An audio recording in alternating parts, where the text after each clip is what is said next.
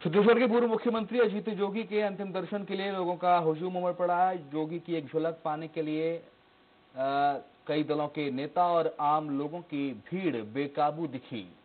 आखिरी दर्शन के लिए उमड़ी भीड़ सोशल डिस्टेंसिंग के नियम तोड़ती हुई नज़र आई। मंत्री शिव डहरिया चीफ सेक्रेटरी महापौर समेत कई लोगों ने पहुंचकर उन्हें श्रद्धांजलि अर्पित की। विधायक धर्मजीत सिंह और पीसीसी उपाध्यक्ष ने अजीत जोगी को याद करके उन्हें गरीबों की चिंता करने वाला बताया।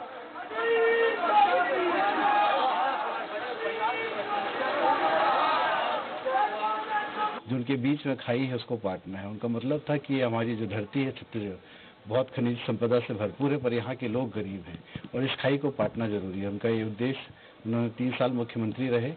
उन्होंने छत्तीसगढ़ की आधारशिला रखी। आज इस पर पूरी बिल्डिंग खड़ी हो रही है। योगी जी ने गरीबों के लिए लड़ाई लड़ी क्योंकि उन्होंने गरीबी देखी हुई थी। बहुत ही विलक्षण प्रतिभा के धनी नेता थे और दूरगामी सोच वाले नेता थे। उनके निधन से बहुत अपूर्णीय क्षति हुई है।